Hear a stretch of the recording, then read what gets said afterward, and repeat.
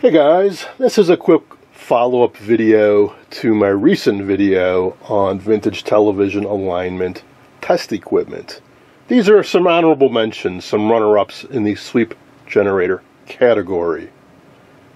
On top we have a model 415 B&K solid state sweep marker generator.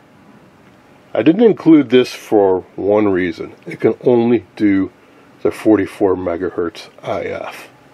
However, it does it very nicely, has some nifty features. I didn't include it in my workbench because it can only do the 44 megahertz IF and it's kind of big. But it is solid state, it's well engineered, it works well. Uh, one other little quirk though is it does use some oddball connectors. They use some Amphenol connectors for the scope and uh, the DMOD probe. However, you can swap these out to BNC pretty readily. And they do use BNC for the output and the external marker. Go figure. Something else uh, to consider is uh, on this vintage piece of equipment and a lot of other vintage sweep generators, they have some somewhat specialized cables and probes. If you want to get one of these, really uh, try to get one that has the probes. They're not too hard to, to make up on your own if you need to, but it's nice to get the originals. So for example, this I believe is the RF out, and you can either choose 75 or 300 ohm termination.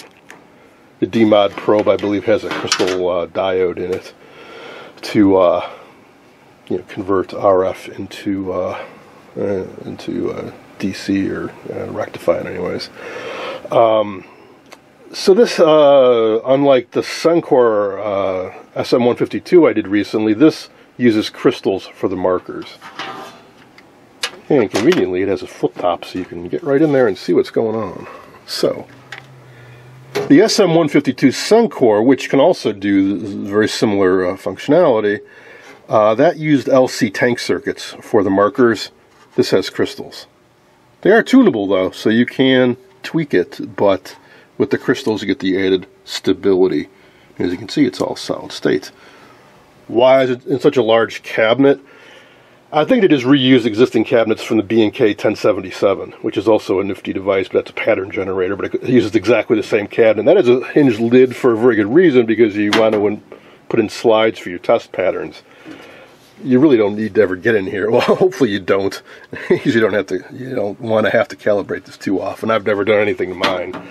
I got it in very good condition in the original box with all the cables. It looks like it never been used. So what can this do? Well, this can sweep the 44 megahertz IF. It can sweep the Chroma bandpass.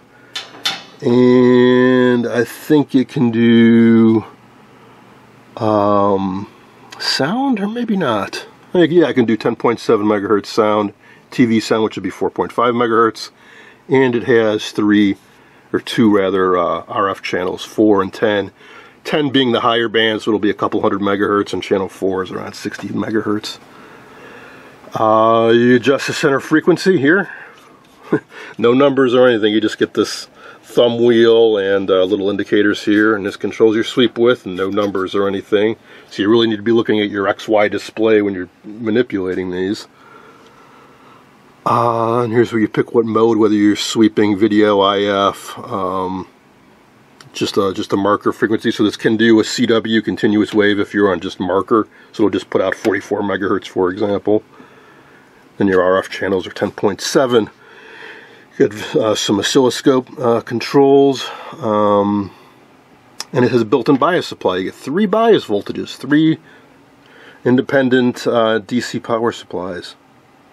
Again, no display, nothing, just three knobs. I would definitely want to back that up with a DC voltmeter. And you get this really nifty display up here. When you turn these markers on, different lights light up. so if I was just going to do 44 megahertz and uh, and the other various features, I would have put this up in lieu of the Waveteks, but it loses out. Let me plug it in so you can see what those lights look out, look like. Here it is, powered up. A little gimmicky maybe, but you do get these nice little lights that show you when the marker is turned on or off. Now I have used this a couple times and I noted that the key frequency points indicated in the alignment instructions did not necessarily line up with the ones built into this device. So, uh, generally speaking, it's very handy for 44 megahertz, but it might not match your alignment instructions perfectly. Something to, to be aware of. However, if you see one of these, it looks clean, you have the cables, you get a, a good deal on it, by all means, it is a nice little device. Now, below that, we have a classic HP 3336A synthesized level generator. It is a digital sweep generator, the only one I have in my arsenal where you can type in the start frequency, say 10 megahertz, and the stop frequency, say 13 megahertz, and it will sweep between 10 and 13 megahertz. Beautiful, clean sine wave, very, very precise. Level control, meaning the output level does not vary, it just sweeps across the frequencies. And you can program a marker into it. So why don't I use this? I don't think it's up to 21 megahertz. just below what would be useful for the older TVs. It is fantastic for AM radio, for FM radio, if you want to do 455 kilohertz, 10.7 megahertz. Now, yes, there is an external jack on the back that goes to 60 megahertz, but that's only for CW, not for sweeping. If I'm sweeping and I try to put in more than 21 megahertz, it doesn't work. So, oh well. Uh, now mine also has an issue the output level does not vary. Uh, there's something wrong with it. Um, but at least it's fixed at a high level, so I, I can use it if I loosely couple it or put an external attenuator onto it. Someday I will fix it. I'm going to keep it out here on my workbench to remind myself I need to fix it. Now here's maybe the best feature.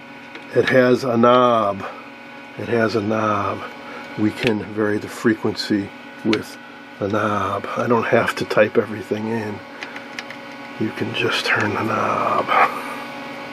It may seem like a minor thing until you try using it and type in all these digits every time. Especially when you want to vary the output level, it's nice to have a knob. So again, if you see one of these inexpensive, you got a good deal on it. They're old, it's from the late 70s, early 80s.